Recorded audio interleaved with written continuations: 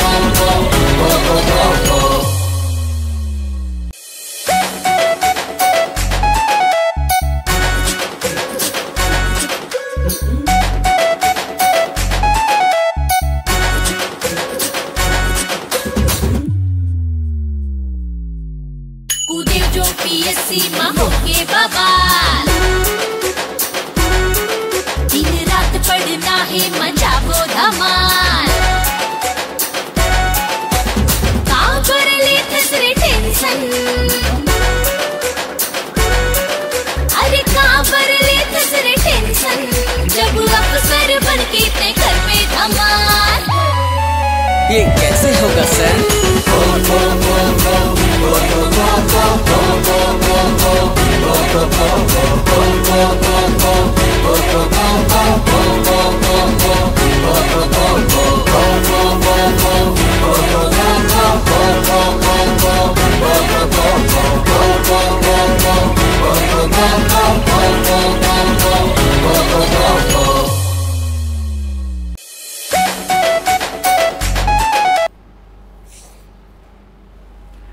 नमस्कार competition community में आप सभी का स्वागत है। देखिए यार, मैं समझ सकता हूँ आज भारत और पाकिस्तान का क्रिकेट मैच है और आप लोग का एक रुपए की इच्छा नहीं है हम लोग के वीडियो देखने का।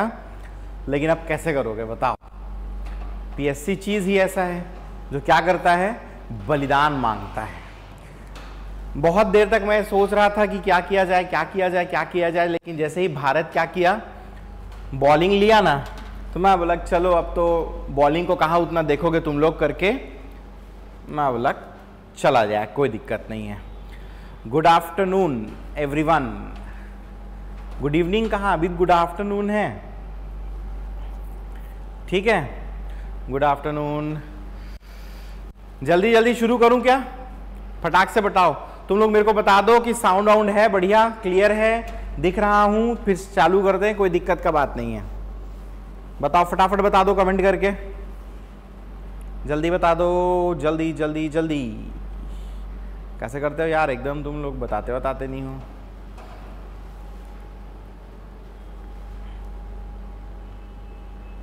ठीक है, चलो। शुरू करते हैं, देखिए। तो मोर छत्तीसगढ़ मेरा ये जो सीरीज़ है, इसका ट्वेंटी फोर्थ, चौबीसवा वीडियो लेकर मैं आ चुका हूँ। और ये जो वीडियो है ना बेसिकली इसमें हम छत्तीसगढ़ का कौन सा जिला देखने वाले हैं? तो महासमुंद जिला देखने वाले हैं। ज़्यादा बड़ा डिस्ट्रिक्ट नहीं है, छोटा सा है। आधे घंटे में ख़त्म कर लेंगे। ठीक है?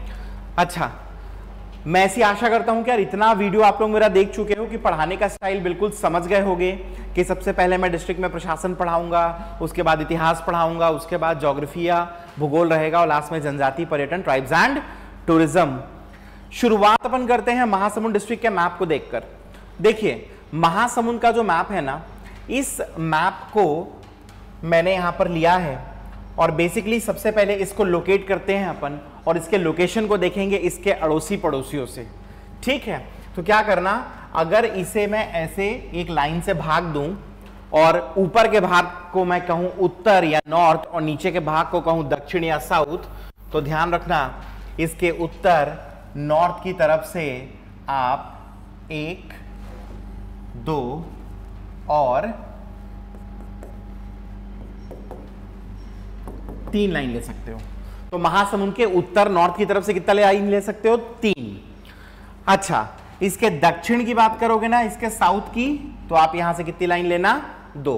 तो नॉर्थ से तीन लेना, साउथ से लेना दो लाइंस। अब पड़ोसियों का नाम लिखते हैं। सबसे पहले ये है क्या? तो ये है बलौदा बाज़ार भाटापारा कौन सा डिस्ट्रिक्ट है? बलौदा बाज़ार भाटापारा अब क्लॉकवाइज चलोगे तो ये अपना सारंगढ़, बिलईगढ़ है। कौन सा डिस्ट्रिक्ट है? सारंगढ़, बिलईगढ़। फिर यहाँ से लेके यहाँ तक ये बॉर्डर करता है किसके साथ? तो उड़ीसा राज्य के साथ। फिर ये छोटा सा हिस्सा यहाँ पर जो आप देख रहे हैं ना, ये हमारे राज्य का गरियाबंद जिला है। और फाइनली जो बच गया यहाँ से यहाँ तक, ये हमारा कौन सा जिला है? तो ये हमारा रायपुर जिला है। तो फिर से रिपीट कर देता हूँ, क्या किए? नॉर्थ से तीन लाइन लिए। नॉर्थ से कितने लाइन लिए? तीन।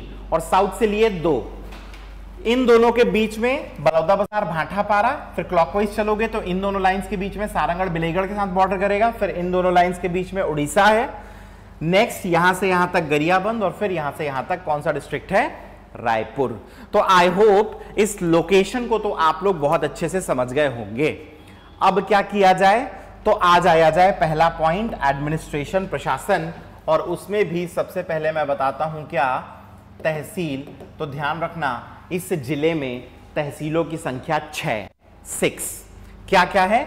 सबसे पहले, एक तहसील आपको मिलेगा यहाँ पर। नाम है इसका पिथौरा।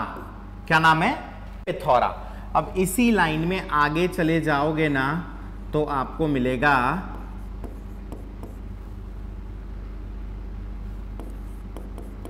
बसना, और उसके बाद मिलने वाला है सराई। उल्टा लिख दी हूँ, लग रहा है जी। पहले कर लो क्या? सराई पाली और उसके बाद कर दो क्या? बसना। ठीक है? पिथौरा, सराईपाली, बसना। अब इसके बाद क्या कर लेना? इस लाइन में आएँगे ना तो आपको कौन कौन सा तहसील मिलेगा? तो एक मिलेगा ज़िले का मुख्यालय, जो कि क्या है?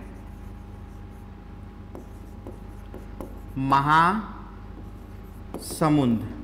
महासमुंद के बाद नीचे आओगे, आपको मिलेगा अगला तहसील, जिसका नाम है बाग बहारा। फाइनली मिलेगा क्या?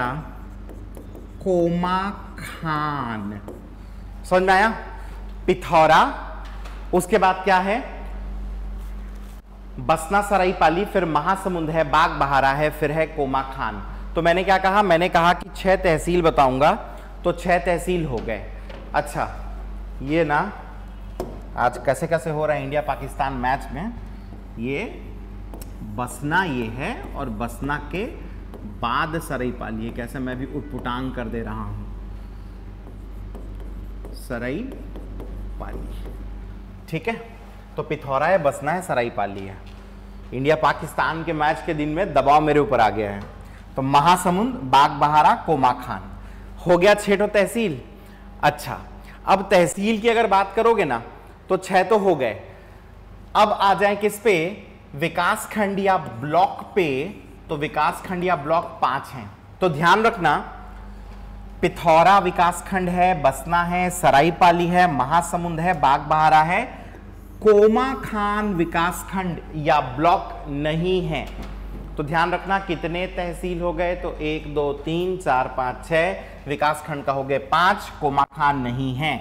अगला पॉइंट ज़िले का हेडक्वार्टर्स मुख्यालय क्या है? महासमुंद, दिख ही रहा है। महासमुंद क्या है? ज़िले का मुख्यालय है हेडक्वार्टर्स है। ठीक है? अच्छा अब इसके बाद नेशनल हाईवे की बात करूँ तो आपको ध्यान होगा, पिछले कुछ दिनों से मैं आप लोगों को नेशनल हाईवे नंबर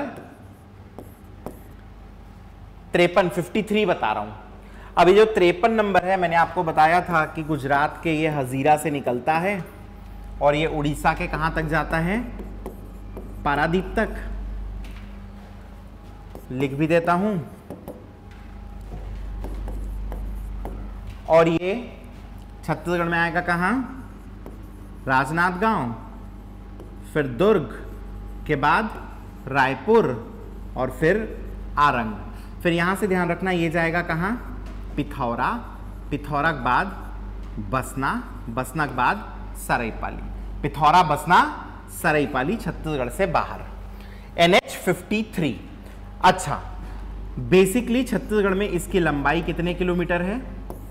322 322 अब इसकी दो ब्रांचेस याद रखना।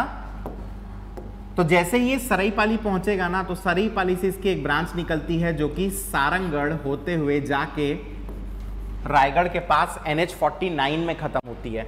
नाम है इसका नेशनल हाईवे नंबर एक छत्तीसगढ़ में लंबाई है इसकी 86.8 किलोमीटर्स ठीक है? दूसरी इसकी जो ब्रांच है, वो निकलती है घोड़ारी से। और घोड़ारी से निकल के ये आती है कहाँ? महासमुंद बाग बहारा और कोमा खान होते हुए उड़ीसा के खरियार तक जाती है। छत्तीसगढ़ में लंबाई है 65.6 किलोमीटर्स और इस नेशनल हाईवे का नाम है एन एच थ्री तो मैंने क्या बताया? सबसे पहले नेशनल हाईवे नंबर 53 हजीरा से निकलकर पारादीप छत्तीसगढ़ में लंबाई 322 और यही 53 एक्चुअली आरंग के बाद एंटर करती है, महासमुंद ज़िले में पिथौरा, बसना, सराईपाली होते हुए निकल जाती है। जैसे ही ये एंटर करे, घोड़ारी से इसकी एक ब्रांच निकलती है जो खरियार तक जाती है, महासमुंद, बागबहारा, कोमा खान होते हुए। लेंथ छत्तीसगढ़ में 65.6 किलोमीटर है। नाम है नेशनल हाईवे 353 और जब ये 53 आगे सराईपाली पहुँचे तो सराईपाली से सारंगढ़ होते हुए जाके रायगढ़ के पास एनएच 49 में खत्म हो, वो है एनएच 153 छत्तीसगढ़ में लंबाई है 86.8 किलोमीटर ठीक है? मेंस में एनएच 153 को पूछा है। 30 वर्ड्स में ठीक है?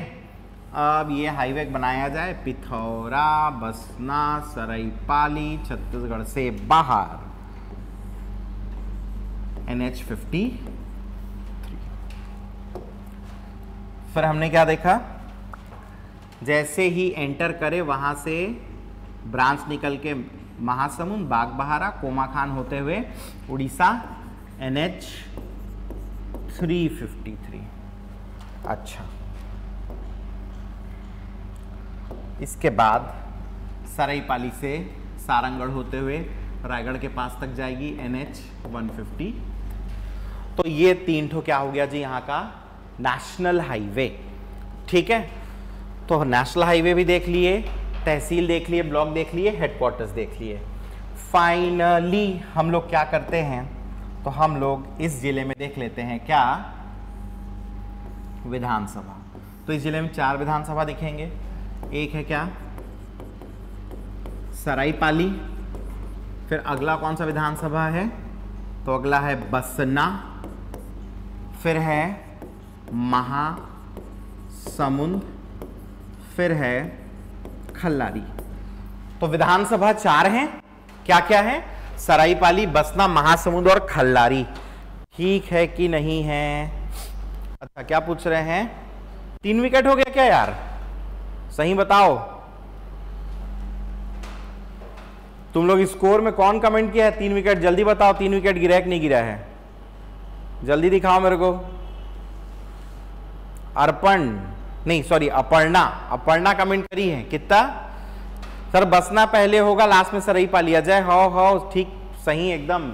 बाद में सही कर दिया था यार। भारत पाकिस्तान मैच का दबाव आ गया था मेरे ऊपर, ठीक है? बताओ, जल्दी बताओ, तीन विकेट हुआ है कि नहीं हुआ है जी? क्या यार तुम लोग भी?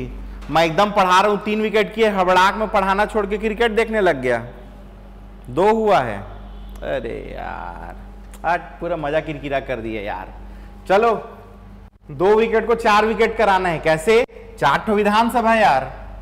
बसना सरई पाली, महासमुंद और खल्लारी। तो चार ठो विधानसभा है तो चार ठो विकेट होना चाहिए। दो ठोस नहीं काम चलेगा। समझ में आया कि नहीं आया है? चलो तो पहला पॉइंट क्या हो गया? अपना प्रशासन खत्म एडमिनिस्ट्रेशन खत्म। सेठ तहसील है, पाँच ठो ब्लॉक है हेडक्वार्टर्स महासमुंद है, तीन तीन ठो नेशनल हाईवे देखे हैं, और उसके बाद फाइनली हम लोग क्या देख लिए? चार ठो विधानसभा। अब इसके बाद क्या किया जाए? इतिहास पे आया जाए। इतिहास पे हिस्ट्री पे क्या है भाई? तो सबसे पहले पॉइंट डाल देता हूँ हिस्ट्री ध्यान रखिएगा। सबसे पहले हिस्ट्री में डिस्ट्रिक्ट का फॉर्मेशन ज़िले का गठन। तो ज़िले का गठन हुआ वर्ष था 1998 उन्नीस अगला इसका पेरेंट डिस्ट्रिक्ट मातृ जिला, क्या था? रायपुर। तो 1998 में रायपुर के उत्तर पूर्वी भाग नॉर्थ ईस्टर्न पोर्शन को काटकर महासमुंद को एक जिला बनाया गया था, समझ में आया कि नहीं आया? अब ध्यान रखना, यहाँ पर एक पूरा तात्विक स्थल है। इंग्लिश में बोलोगे तो आर्कियोलॉजिकल साइट। नाम है क्या? सिरपुर। सिरपुर सबसे पहले महानदी के तट पर है, महानदी के बैंक्स पर है। ठीक है? सिरपुर को छत्तीसगढ़ के इतिहास में बहुत बार पढ़ोगे आप लोग। इसके प्राचीन नामों में से एक नाम है चित्रांगदपुर। ठीक है? क्यों चित्रांगदपुर? तो असल में ये राजा भब्रुवाहन की राजधानी थी। और भब्रुवाहन जो है ना, ये बेसिकली पुत्र थे किन के अर्जुन और चित्रांगदा। तो अर्जुन और चित्रांगदा के बेटे भब्रुवाहन तो अपनी माता के नाम से इस नगर का नाम रखा चित्रांगदपुर। तो सिरपुर महानदी के तट पर, प्राचीन नाम था चित्रांगदपुर, राजा भब्रुवाहन की राजधानी थी। छत्तीसगढ़ में जब महाभारत काल पढ़ोगे तो इनके बारे में पढ़ने को मिलता है हमको। ठीक है? और भब्रुवाहन अर्जुन और चित्रांगदा के क्या थे? पुत्र थे। ये क्या बटन दब गया? इसको हटा दें दो। अच्छा। अब अगर बात करोगे हाँ आगे तो क्या क्या देखना है? सबसे पहले यहाँ पर हमको मिलेंगे बौद्ध विहार। इंग्लिश वाले जब लिखोगे ना तो भी बौद्ध विहार लिख सकते हो। बौद्ध विहार क्या होते हैं? तो बौद्ध विहार एक्चुअली एक ऐसा स्थान है जहाँ पर बौद्ध भिक्षु रहे। उसी कहते हैं क्या? बौद्ध विहार। क्लियर है? तो यहाँ पर बौद्ध विहार मिलेंगे। जब वेनसान के ट्रैवलोग के बारे में लिखोगे वेनसान एक्चुअली छत्तीसगढ़ आए थे, सिरपुर भी आए थे, ठीक है? तो जब आए तो उन्होंने लिखा है। क्या लिखा है पता है? कि ये जो सिरपुर है ना, यहाँ पर लगभग सौ बौद्ध विहार थे। कितने बौद्ध विहार थे? सौ। जिसमें अप्रोक्सीमेटली दस हज़ार बौद्ध भिक्षु रहते थे। सौ बौद्ध विहार थे, जिसमें से दस हज़ार बौद्ध भिक्षु रहते थे। ऐसा किसने लिखा है?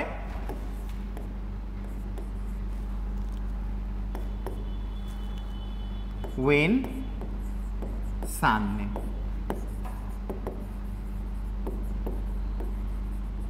समझ गए? तो वेन सान लिखते हैं कि सिरपुर में सौ बौद्ध विहार थे, जहाँ दस हज़ार बौद्ध भिक्षु रहते थे। अच्छा यहाँ पर ना मुख्य रूप से तीन बौद्ध विहार के क्या मिले हैं? अभी तक साक्ष्य मिले हैं। एक आपका आनंद प्रभु कुटिर विहार, फिर है तीवर देव, बुद्ध विहार, फिर है स्वास्तिक विहार। समझ में आया? तो बौद्ध विहार सौ थे, दस हज़ार भिक्षु रहते थे, लेकिन तीन के प्रमुख रूप से साक्ष्य मिले हैं यहाँ से, आनंद प्रभु कुटीर विहार तीवर देव बुद्ध विहार और स्वास्तिक विहार। इसके अलावा यहाँ से आपको एक शिव मंदिर भी मिला है। कौन सा है? वो है सुरंग टीला का शिव मंदिर। समझ में आया? आप लोग जाओगे ना तो लेफ़्ट साइड में पड़ता है। चौक के आगे जाओगे ऐसे, सिरपुर गए होगे कभी ना तो दो, एक ऐसा चौक पड़ता है जिसमें से लेफ़्ट की तरफ़ जाओगे तो सुरंग टीला मिलेगा पहले, फिर गंधेश्वर मिलेगा। और राइट की तरफ़ मुड़ोगे तो आप कहाँ चले जाओगे?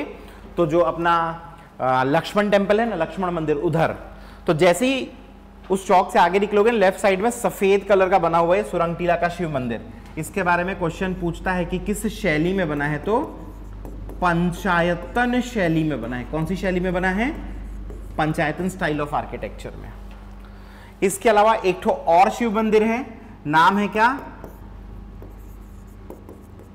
गंधेश्वर महादेव मंदिर। अब ये जो गंधेश्वर महादेव मंदिर है, अंदर जाने से तुलसी की गंध आती है। और तुलसी की गंध आने के कारण इसको कहते हैं गंधेश्वर महादेव मंदिर। फिर यहाँ पर एक मंदिर है कौन सा?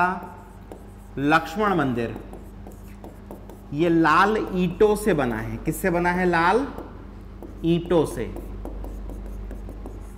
मेड विथ रेड ब्रिक्स किसने बनाया? रानी वासटा देवी ने बनवाया इनके पति थे जिनका नाम था हर्षगुप्त। तो हर्षगुप्त की हो जाती है मृत्यु। और अपने पति हर्षगुप्त की याद में रानी वास्ता देवी लक्ष्मण मंदिर को बनवाना शुरू करती हैं। बनने से पहले खुद भी मर जाती हैं एक्चुअली तो कंप्लीट कराते हैं इनके बेटे, जिनका नाम क्या था? महाशिवगुप्त बालर्जुन। समझ में आया? तो सिरपुर के बारे में इतना ध्यान रखना कि बौद्ध विहार, उसके बाद सुरंग टीला का शिव मंदिर, गंधेश्वर महादेव मंदिर और लक्ष्मण मंदिर। तो ध्यान से देखने पर आप पाएँगे कि बौद्ध धर्म से संबंधित चीज़ें भी यहाँ मिल रही हैं। इसके अलावा शैव धर्म से संबंधित चीज़ें भी हैं। लक्ष्मण मंदिर, असल में क्या है? तो भगवान विष्णु का मंदिर है ये। तो वैष्णव धर्म से भी संबंधित चीज़ें यहाँ मिल रही हैं। इवन जैन धर्म से संबंधित चीज़ें भी यहाँ से प्राप्त हुई हैं। समझे कि नहीं समझे? ठीक है तो ध्यान रखना। क्लियर है? अच्छा अब क्या किया जाए? अब ना ऑरेंज कलर से प्लॉट किया जाए। ध्यान रखना, ये बिल्कुल यहाँ पर आपको मिलेगा क्या? सिरपुर। क्या मिलेगा? सिरपुर। एक ठो बस निवेदन है आप लोगों से। एक एक सेक्शन खत्म हो, तत्काल मेरे को स्कोर बताना। अब इतिहास खत्म हो गया है, इतना ही था। चलो मेरे को कमेंट करके स्कोर बताओ। कितना हो रहा है जी? कितना हुआ है स्कोर कमेंट करके बताओ कमेंट करके। पूछ रहे हैं, गंधेश्वर महादेव में तुलसी बहुत सारा पौधा है। हाँ बहुत सारा बहुत सारा, खूब सारा है। लेकिन पौधा जो है ना, वो बाहर है और जो खुशबू आती है ना, वो गर्भगृह सैंक्टम सैंक्टोरम के अंदर से आती है। कैसे यार स्कोर नहीं बता पा रहे हो आप लोग? उठपुटांग आदमी लोग हो।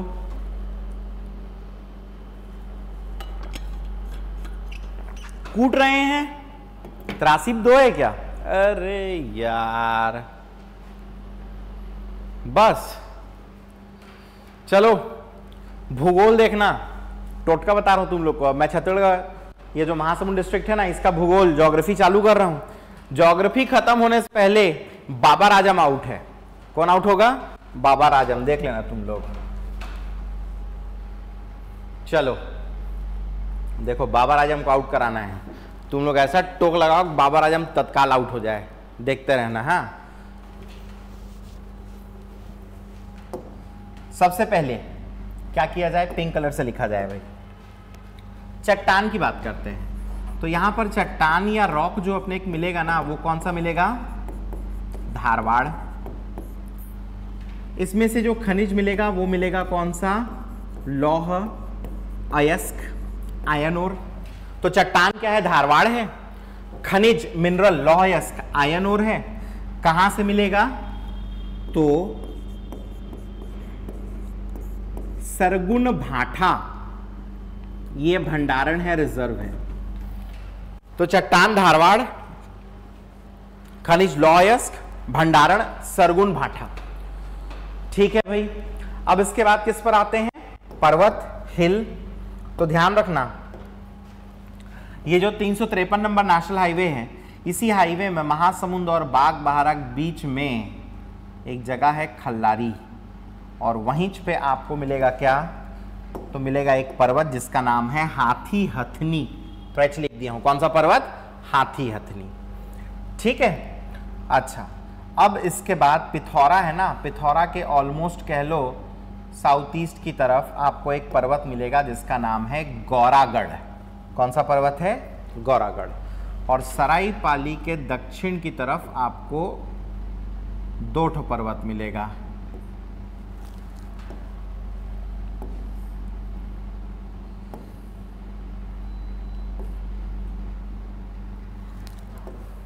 एक का नाम शिशुपाल दूसरे का नाम रदन तो कितना पर्वत?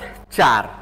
एक का हाथी हथनी खल्लारी में महासमुंद बाग बहारक बीच में पिथौरा के साउथ ईस्ट दक्षिण पूर्व में गौरागढ़ और सरायपालिक दक्षिण की तरफ़ क्या क्या है? एक, आपका शिशुपाल, दूसरा रदन शिशुपाल की जो ऊँची चोटी है हाईएस्ट पीक इसका नाम है धारी, डोंगर और हाइट है 899 मीटर ठीक है कि नहीं है? क्लियर हो गया यहाँ तक? तो चार ठो पर्वत है। अच्छा नदियों की बात करोगे तो ध्यान देना, पहले रायपुर गरियाबंद और फिर आगे चल के रायपुर महासमुंद बॉर्डर पर फ्लो होती है कौन सी? तो महानदी। समझ में आया? कौन सी नदी है? महानदी। महानदी की एक सहायक मिलेगी आपको। इस नदी का नाम क्या है? नाम है कोडार। क्या नाम है जी नदी का? कोडार। फिर आगे ध्यान देना। उड़ीसा में जो सुनाबेड़ा पठार है, वहाँ से निकलती है। फिर क्या करती है ये? ये एक्चुअली ना बॉर्डर बनाती है। नाम इसका जोंक है। बॉर्डर बना है उड़ीसा और छत्तीसगढ़। जोंक नदी एक्चुअली ना गौरागढ़ के बगल से फ्लो हो जाती है। तो काफ़ी जगह पे आप देखोगे ना तो लिखा होगा गौरागढ़ इसका उद्गम है ओरिजिन जो कि सही नहीं है। समझ में आया? तो गौरागढ़ के बगल से फ्लो होती है, आती कहाँ से है? तो सूना बेड़ा ये पठार का नाम है। कहाँ पर है? उड़ीसा। सूना बेड़ा प्लेटू यहाँ से आई। बॉर्डर बनाई। किसका किसका बॉर्डर बनाई है? उड़ीसा और महासमुंद जिला, छत्तीसगढ़। और फिर निकल गई ऊपर। इसके बाद ये रदन है। रदन से निकलकर ऊपर की तरफ़ जाएगी। कौन सी नदी है? लात। तो क्या क्या है? एक महानदी महानदी की सहायक कोडार। नेक्स्ट अगर आप ध्यान से देखोगे सुनाबेड़ा से निकलने वाली जोंक, और इसके बाद फाइनली रदन से निकलने वाली कौन सी नदी है? लात। ठीक है? अच्छा। अब अगर बात करोगे किसकी नदी के ऊपर जलप्रपात वाटरफॉल्स तो ध्यान रखना, एक ना सिरपुर के पास धसकुड़ करके जलप्रपात है। ये स्थानीय सरिता पर है लोकल स्ट्रीम पर। क्या नाम है वाटरफॉल का? धसकुड़ इसके अलावा और कौन कौन से वाटरफॉल्स हैं? तो एक है देवधारा। अब ये जो देवधारा है, ये कौन सी नदी के ऊपर है? बलम दे। ठीक है? कहोगे इसको मैप पर क्यों नहीं दिखा रहा हूँ? गूगल में सर्च करोगे गरियाबंद ज़िले में दिखाने लगता है इसको। तो देवधारा, बहुत जगह पर इसको सात देवधारा बोल देते हैं। कंफ्यूज हो जाओगे, क्यों? क्योंकि दंतेवाड़ा में सात धारा जलप्रपात है इसलिए। तो इसको हमेशा क्या बोलोगे? देवधारा जलप्रपात। देवधारा बलमदेई नदी के ऊपर है। बलमदेई भी महानदी की सहायक बनती है। इसके अलावा एक जलप्रपात है जिसका नाम है क्या? केशवा। तो वाटरफॉल कौन कौन से? धसकुड़ फिर देवधारा बलमदेई नदी पर, और उसके बाद केशवा। ठीक है? तो ये वाटरफॉल हुए। अच्छा नदी के ऊपर अगर परियोजना प्रोजेक्ट की बात करोगे तो कोडार है, इसके ऊपर कौन सा डैम है? तो डैम का भी नाम क्या है? कोडार बाँध, कोडार डैम और इसका नामकरण किया गया है शहीद वीर नारायण सिंह जी के ऊपर। तो ये वीर नारायण सिंह परियोजना कह सकते हो इसको, ठीक है? शहीद वीर नारायण सिंह परियोजना। फिर, जोंक नदी के ऊपर, कौन सी परियोजना? जोंक। तो ध्यान रखना, जोंक के ऊपर दो परियोजना है, एक का नाम है जोंक, दूसरे का जोंक डाइवर्शन। तो जोंक परियोजना महासमुंद में है, जोंक डाइवर्शन जो है वो बड़ौदा बाज़ार में है। तो कोडार देखे, और क्या देखे? जोंक। इसके अलावा बाघ बहारा जो है ना आप आ जाओ लगभग इसके दक्षिण पश्चिम की तरफ़ तो आपको एक और डैम मिलेगा।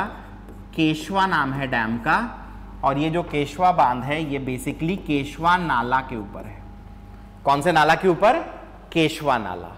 तो परियोजना क्या क्या याद रखोगे? कोडार के ऊपर कोडार डैम, फिर केशवा नाला के ऊपर केशवा बाँध, और जोंक के ऊपर जोंक परियोजना। तो ये तो हो गई परियोजना। अब इसके बाद क्या देखते थे? तो याद होगा आपको हम लोग, ये ज्योग्राफी चल रहा है इंडस्ट्रियल एरिया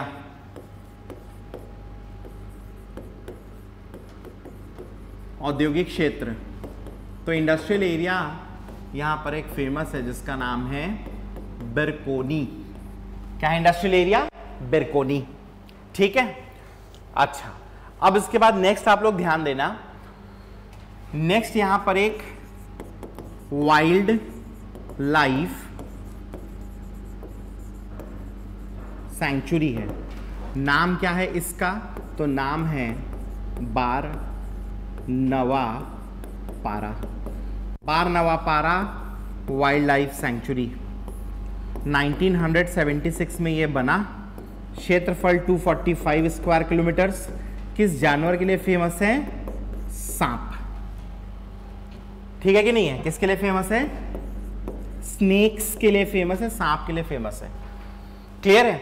तो औद्योगिक क्षेत्र Birkoni wildlife sanctuary Bar Nawapara Bar Nawapara को पहले से बता दूँ, अगर पीएससी का कोई पेपर दोगे ना तो आंसर महासमुंद लेता है। व्यापम का पेपर दोगे तो आंसर बलौदा बाज़ार लेता है। समझ में आया कि नहीं आया?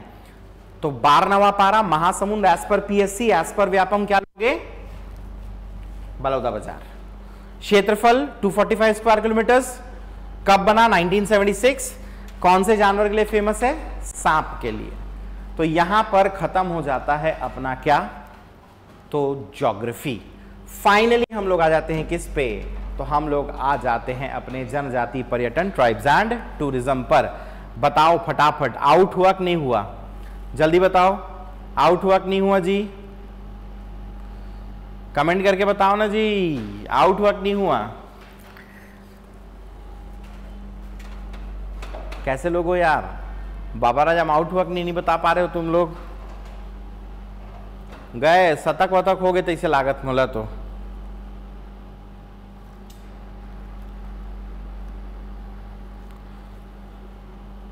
नहीं हुआ?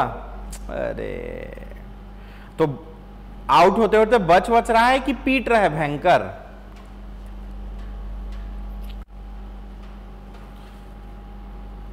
बच बच रहा है कि पीट रहा है तरीके से?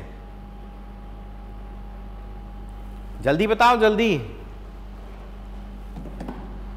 गए जी, अब तो नहीं बाचनती से लागत है। अरे, टेंशन मत लो यार, ये देव आउट होगा, देखते रहना तुम लोग। अब नहीं बचे हो हाँ।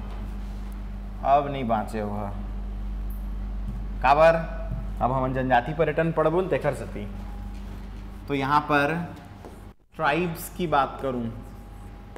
तो यहाँ पर जनजाति मिलती है कौन सी? सांवरा। कौन सी जनजाति है? तो ट्राइब का नाम है सांवरा। सांवरा जनजाति बहुत फ़ेमस है। ये लोग क्या करते हैं पता? है ये लोग सांप पालते हैं और जहरीले सांपों को दिखा दिखाकर लोगों को पैसा कमाते हैं। इस जनजाति में जब विवाह होता है तो लड़की को 21 ठो जहरीला सांप किसमें दिया जाता है? दहेज में। कितना ठो? 21 ठो जहरीला सांप। और मान लो 21 ठो जहरीला सांप का जुगाड़ नहीं हो पाया तो तब तक के लिए शादी पोस्टपोन रखते हैं। और जैसे ही जुगाड़ हो गया, फिर शादी हो जाता है। समझ में आया? तो ऐसा टाइप का स्थिति है भैया। सांवरा जनजाति। ऐसी दो चार ढंग सांवरा लोग को पाकिस्तान में छोड़ देना चाहिए। सबको सांप चावेगा भारी मज़ा आएगा। ठीक है कि नहीं है? आज के मैच बहुत मज़ेदार होगा। पाकिस्तान को हराना है। वाह, हराबो ना, हम टेंशन के का बात है? दो चार दिन सांवरा मतलब छोड़ देबो। ओकर बाद देखो। पर्यटन टूरिज़्म चलो, फटाक से खत्म कर देता हूँ ताकि तुम लोग मैच देखो। सबसे पहले, पर्यटन में एक तो क्या है? मैंने बताया था ना, हाथी हथनी पर्वत कहाँ पर है? खल्लारी। तो ये जगह है खल्लारी। खल्लारी में क्या है भैया? बहुत फ़ेमस खल्लारी देवी मंदिर। फिर आगे जाओगे, बाग बहारा। के थोड़े से दक्षिण की तरफ़ आ जाना। आपको क्या मिल जाएगा? घुंचा पाली और घुंचा पाली जो है ना, यहाँ पर फ़ेमस कौन सा मंदिर है? तो चंडी माता मंदिर। ये वही मंदिर है जहाँ पे भालू आता है क्या खाने के लिए। प्रसाद और लोग उसको क्या पिला देते हैं? फ्रूटी समोसा। अच्छा नहीं है, नहीं करना चाहिए। समझ में आया? उनका जो डाइजेस्टिव सिस्टम है हाई अमाउंट ऑफ़ शुगर को फ्राइड फ़ूड को डाइजेस्ट करने के लिए नहीं बना है। रॉ फ़ूड के लिए बना है। तकलीफ़ हो सकती है, तबीयत खराब हो सकता है, मृत्यु हो सकती है भालुओं की। ठीक? अच्छा खल्लारीज के बगल में और एक जगह है जिसका नाम क्या है? भीम खोज। अब ये जो भीम खोज है बेसिक स्टोरी ऐसी है कि यहाँ पर बड़ा बड़ा पद चिन्ह मिला है। तो ये कहते हैं कि ये असल में किसका है? तो भीम के पद चिन्ह हैं। फुटप्रिंट्स हैं भीम के। किसके फुटप्रिंट्स हैं? पद चिन्ह हैं भीम के। ठीक है? इसके अलावा आप अगर कभी महाभारत पढ़े हो तो आपको हाउस ऑफ़ लैकर लाक्षागृह की घटना के बारे में पता चला होगा, जिसमें कौरव पांडवों को जलाकर मारना चाहते थे। तो ऐसा कहते हैं कि वह घटना यहीं की थी। यहीं पर उन्होंने क्या किया था? लाक्षागृह को बनाया था और पांडवों को जलाकर मारने की साजिश थी। हालाँकि वो साजिश पूरी नहीं हो पाई थी। ठीक है कि नहीं है? तो ध्यान रखना, पर्यटन में यहाँ पर क्या है? खल्लारी खल्लारी में खल्लारी माता का मंदिर है। इसके अलावा यहाँ पर एक बहुत फ़ेमस नारायण मंदिर भी है।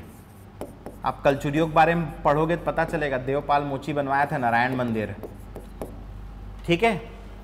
इसके अलावा घुंचापाली, चंडी माता का मंदिर है और भीम खोज तो भीम के पदचिन्ह मिले हैं। और कौन सी घटना? लाक्षागृह वाली घटना। ठीक है? चलो, इतना ही था। फाइनली कुछ प्रश्न हैं, देख लो, खत्म करते हैं उसके बाद। पहला क्वेश्चन क्या है? महासमुंद ज़िले में स्थित कौन से स्थल से सभी धर्म, बौद्ध, जैन, हिंदू के साक्ष के साक्ष्य प्राप्त हुए हैं? खल्लारी, सिरपुर, तुमगांव बाग बहारा बताओ कमेंट करके बता दो फ़र्स्ट क्वेश्चन का आंसर क्या है? फ़र्स्ट क्वेश्चन का आंसर सांवरा की इक्कीस टन सांवरा ढीलल पड़ी तीसरी लागत, हो हो हो। एक नंबर। कोबरा छोड़ेंगे, तब काम का है। तो लेन कोबरा छोड़ दो का दिक्कत है? कोबरा कबे तो कोबरा, और कोरबा कबे तो कोरबा, दोनों छोड़ दो का दिक्कत है हमला? बताओ, जल्दी बताओ, फ़र्स्ट का क्या है? सिरपुर है बी? ठीक बात, चलो। सेकंड क्वेश्चन में आ जाओ। महासमुंद ज़िले में कौन सा औद्योगिक क्षेत्र है? बिरकोनी, श्यामतरी, मोहंदी, बेलटुकरी। बताओ, जल्दी बताओ। जलदी जलदी। सेकंड का बता दो फटाक से।